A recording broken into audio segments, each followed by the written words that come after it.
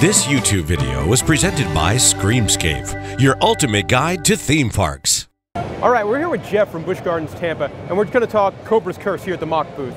Tell us a little bit, about, if somebody that's never heard of Cobra's Curse before, Jeff, tell us about the ride. So, Cobra's Curse is unveiling at Busch Gardens, Tampa in 2016. And when it opens, it's going to be the world's best spinning coaster. It's a great family thrill ride with a low height restriction, 42 inches, and just an overall fun experience from getting into the queue all the way to the end of the ride. There we go. Now it's got some really interesting cars, something that we haven't seen on a spinning coaster before, right? There's a lot of unique elements about this roller coaster. So the cars, like you mentioned, is one. Most most spinning roller coasters actually are back-to-back facing or forward-front facing. We actually have all of our trains, all the riders are facing forward, and they look like mine cars. So we've got eight people per train, and those mine cars give us the ability to be on the ride going forwards, backwards, and spinning. So the ride will actually unveil itself in chapters as you go through the ride. It'll get more wild, more crazy as you go. Another unique attribute about the ride is actually there's a vertical lift element to start the ride. That takes you up 70 feet into the air, looking straight at an 80 foot snake icon. So you'll be face to fang with that snake as you go on your ride. Face to fang. Yeah.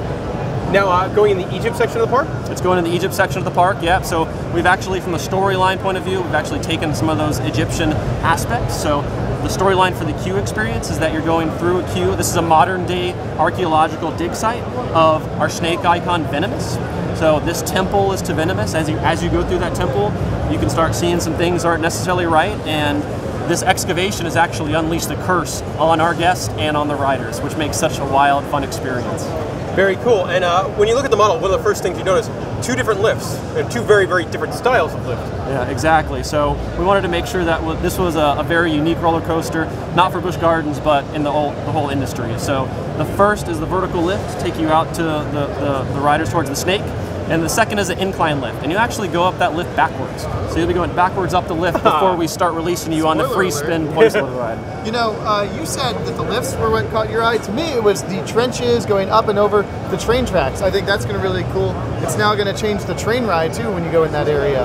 Yeah, whenever we're putting a new roller coaster at Busch Gardens, we always want to integrate it very highly with the realm, with the pathways, with other rides. So like you mentioned, the train ride is going to be so much more great experience, but also the non-riders. If you see where the pathways intertwine on this ride, it's going over your head, underneath your head, it's it's going everywhere. So it makes the non-rider experience almost as fun as the rider experience. And with the train and all the, the pathways, it must give you quite the challenge because there are some really wacky looking supports on this ride. Oh, it's fun. That's that's the fun part of the experience from an engineering perspective to be able to try to fit within existing architectural spaces and existing rides.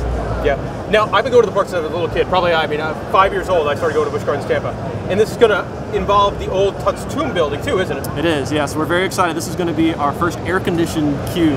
At the time. Yes! Not like it's hot here. Oh, it's going to be great. Not only is it going to be air conditioned, we're also going to have some great surprises in the queue as well. Oh, all Now, right. what are these surprises? We'll have to tell you guys about that later. More There's to come. surprises. Well, you already told the one surprise about the lift going backwards. Then you can't get more than one. I only got one surprise, I guess. All right. Um, you're very close to the project. What's your favorite part of the project? My favorite part of the, of the, the overall project is the, the way this roller coaster unveils itself throughout the ride. Going forwards for a part of the ride, then spinning around, going backwards for part of the ride, and then free spinning for the rest of the ride.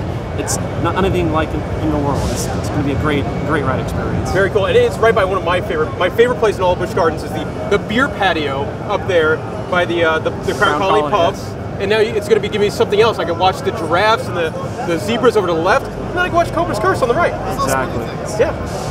Uh, how are we looking on uh, construction time zone? It looks to us that uh, it's flying up. It seems like Yeah. every single day there's now like 200 feet of track more. And Right now, we've got a little over a third of the track up, so and we'll continue to be getting ride pieces um, in and installed through the remainder of this calendar year through January, and then you'll see in the next few months after that, we'll start ride testing and opening sometime in 2016. All right, Jeff. Well, we can't wait to check it out. Looks Sounds like you got a winner on your hands. Thank Thank you, guys. And we're going to go check it out in the spring at Busch Gardens, No, he said sometime. in- sometime in the spring. 2016. 2016. 2016. Sometime in. The, I'm sorry. didn't give the sometime in 2016. Okay. Well, sometime we'll be there.